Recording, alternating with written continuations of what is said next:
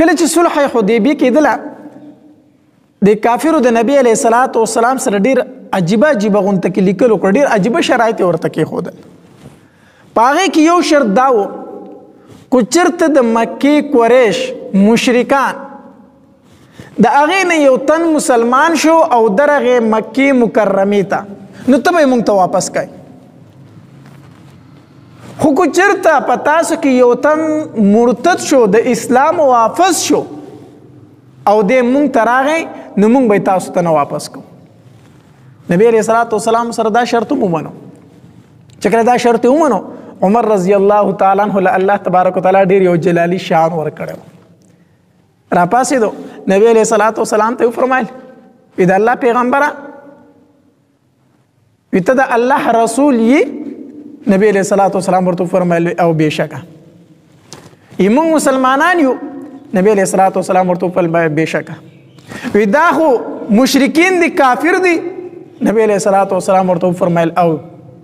بشکه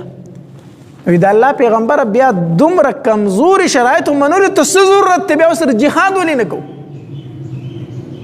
نبی علیہ الصلوۃ والسلام ورته فرمایل عمره عمره الله تبارک وتعالى به موږ له پدې کې خیر واچي ما چې څوکړه بس ام دا اومنه بس هغه صحابه آمنا وسلمنا ایمان راوړو بس بیا خبره منلې ده بیا د چا دا مجالو چې نبی علیہ الصلوۃ والسلام یو خبره وکړه او یو صحابي دا غي نه انکار کړی وي صحابه لاړو ډیر زیات خپه دي ډیر زیات خپه دي چې دا هم ډیره کمزوري اختیار اختیار کړه خو نبی علیہ السلام صلح کړی و چې مدینه منورې ته لاړ سورز لا تیر نه چې په دې دوران کې یو صحابي راغی د اغنوم د ابو بصیر رضی الله تعالی عنہ زنجیران ورته پراته دي بدن ټول زخمی زخمی دی راغې نبی علیہ الصلوۃ والسلام لره وی د الله پیغمبر ډیر په تکلیف می درته ځان را ورسو ما اسلام را وړې دی ما زما کوم وجلی د الله پیغمبر زما حالت ته وګوره زنجیران را ته پراته دي راو تختې دم ته بس سات نو تیر چې دوه تنم د قریشو پسې را رسیدل نبی علیہ الصلوۃ والسلام ته فرمایلی محمد صلی الله علیه وسلم مونږ ته زمونږ سره واپس کا تا زمونږ سره لیکل کړی دی چې د مکې نه کو څوک راغې ته به مونږ ته واپس کای نبی علیہ الصلوۃ والسلام او بصیر رضی الله تعالی عنہ ته فرمایلی ابو بصیره زره دوی سره زه تا د ځان سره نشم سمبالولی ما لیکل کړي ما صلح کړي ما معاهده کړي زه د هغې خلاف نشم کولی او بصیر رضی الله تعالی عنه فرمایلی د الله پیغمبره ته ما دوی ته حواله کوي ما وجني ما د اسلام واپس کړي ته ما دوی ته حواله کړي نبی علیہ الصلوۃ والسلام وته فرمایله ابو بصیر زیب وسره زه دې نشم ساتلې ما صلح کړي زه دا خلاف نشم کولې ابو بصیر رضی الله تعالی عنہ روانې دو د سترګو مبارکو نه وښ کې روانې وي نبی علیہ الصلوۃ والسلام ته وکتل نبی علیہ الصلوۃ والسلام جړل د سترګو نه اوخ کې روانې وي وی ابو بصیر زو سره الله به خیر کې روان شو سره تلتلو د مدینی منورې سره نږدې یو ځای دی ذوالحلیفه ورته ویل شي چې کله هغه ته ورسېدل نو دی مشرکین کوشو پړای واچو کجوري خور دي کجوري راشو کولې خوري نو د ابو بصیر رضی الله تعالی خو د یو کافر ته وی وای دا تور ډیره خولې نه ده او ورته ولې نه دا خو ډیره خسته تور ده دا خو ډیره قیمتي ده بهرحال د خپل توري صفاتونه شروع کړو دا خو دې سي دا دا خو دې سي دا ابو بصیر رضی الله تعالی ته فرمایي لکه راکه چې خو ګورم کنه لکه راکه چې وې ګورم ابو بصیر رضی الله تعالی ته تور واغسته توري ته ګوري او پړه کې سوچ کوي چې یاره دی خو تا بیاي مکه مکرمه ته او اوس په در د باندې دا غین زیات ظلمونه کوي چې اوس پر اثر سکي او د دین اسلام نه می واپس کوي دوی ما دراغه پوری پریدي نه چې سو پوری زه د اسلام نه نه واپس شوی تور خو زما په لاس کې ده دا سوچ کو چې تور اوچته کړه کافر لراواچ ولا سره ته خو ورتاو کو مردار کو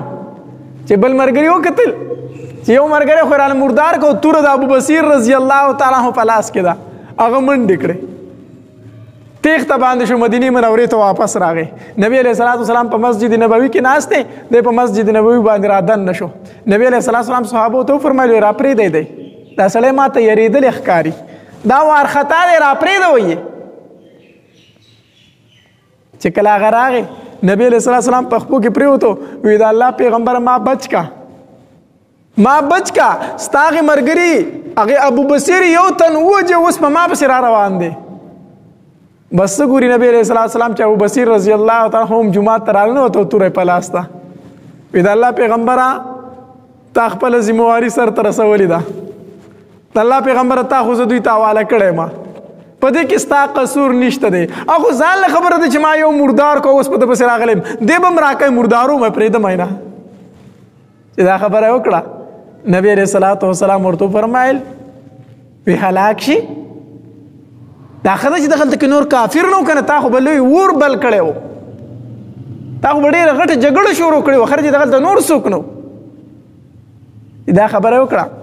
ابو بصیر رضی الله تعالی عنہ پوه شو چې نبی علیہ الصلوۃ والسلام زما په دې کار باندې خپه دی ابو بصیر رضی الله تعالی عنہ سرخ کته کو او روان شو وی دا الله پیغمبر لاړم درنه د الله پیغمبر لاړم درنه تا نه خپ کومه روان شو اوس بلار را روان دی چې مکه ته خو کوزم نو هغه می وجنی پری دی مینا ځکه چې یو سړی می تیم وجه او مدینه ته می نبی علیہ الصلوۃ والسلام نه فری دی مدینه ته می نبی علیہ السلام نه فری دی او مکه ته می د مکی مشرکان نه فری دی روان شو لاړو الته یو سمندر او د باغی په غاړه باندې آباد شو الته وسیدو بس دا خبره مشهور شو چې نبی علیہ الصلوۃ والسلام ګوره سوک پری دینه کو د مکه نه سوک مدینه منورې ته ځي ال تاغه نه پری دي ځکه هغه د کافرو سره معاهده کړی دا صلح یې کړی دا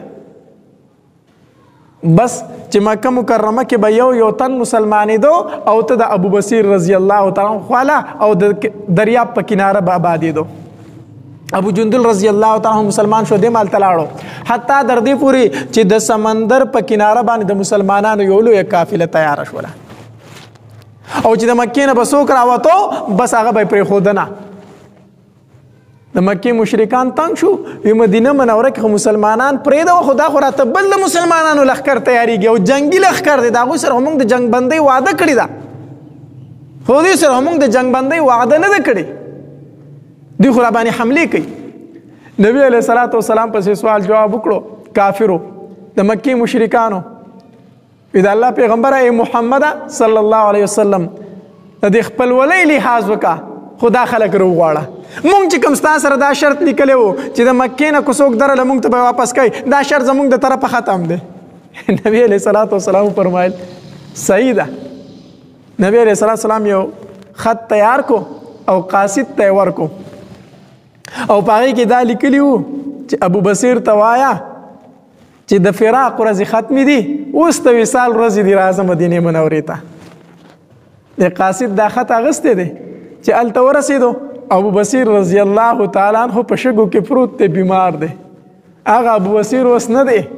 هغه د سمندر هواګانو والے دی هغه خو نه جوړ دی هغه په خاورو کې فروت دی لال دا قاصد الته چاته وی وی ابو بصیر کم دی وی دا پوری په خاورو کې دا بیمار په شو کې دا بیمار چې پروت دی دا ابو بصیر دی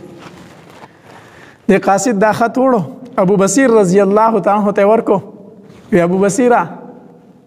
ستا محبوب پرمایلی دی چې ابو بصیر ته وای چې زما غیګ له رازا د فراق ورځ ختم دی اوسو ابو بصیر رضی الله تعالی چې خط ته وکتل خط راواغستو په خپل مخ پورې ونیو په شونډو باندې خولو د الله پیغمبره د وصال ورځ را لې خو زه درنه جدا کېږم زه ستا غیګ له نشم درتلې زه خو دومره طاقت نه لرم چې ستا خط ته پاسېدلی وي خط ته ګوري او جاړي خط ته ګوري او جاړي نه الله پیغمبر ستا خواله نشم درتله ای قاصد ته زما خوا ته را نږدې شه هغه ته ورټیټ شو نبی علیہ الصلوۃ والسلام باندې زما ډیر ډیر سلامونه وایا چې واپس لاړ شي ډیر سلامونه وایا او دا ورته وایا چې ابو بصیر اوس طاقت نه لري چې را پاسي او بیا دا خط د سینې سره ونیو او بیا روچت کو داسي کتلی ورته او جړلی حتی در دې پوری چې سټي په یو طرف باندې لاړو او سای ورک او خطي په سینه باندې را پریوت الله نبی علیہ الصلوۃ والسلام چې ابو بصیر کافر تاواله کو پړ به سمره غم وو سمره خفغان وو سمره تکلیف وو خو چې وعده کړی و صلح کړی و د کافر سره صلح کړی و مسلمان سره نه دا غي خلاف ورزي نه د کړي مونږ مسلمانان دلته به یو بل سره روغ کو او دلته په روغ کې خپل کار وباسو زه صلح به سره وکم د به اسلحه کې دي بیا زه پوښه دې پوښه بعض اوقاتو کې په صلح کې دنه